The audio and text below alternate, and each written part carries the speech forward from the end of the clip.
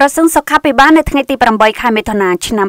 2024បានចេញសេចក្តីប្រកាសព័ត៌មានបញ្ជាក់ពីការរកឃើញអ្នកឆ្លង COVID-19 ចំនួន1នាក់ខណៈជាសះស្បើយ4នាក់សូមជម្រាបថាកតិនការប្រកាសរបស់ក្រសួងសុខាភិបាលថ្ងៃទី9ខែមិថុនាកម្ពុជារកឃើញអ្នកឆ្លង COVID-19 សរុបចំនួន139,207នាក់អ្នកជាសះស្បើយសរុបចំនួន136,115នាក់ស្លាប់សរុបចំនួន3056នាក់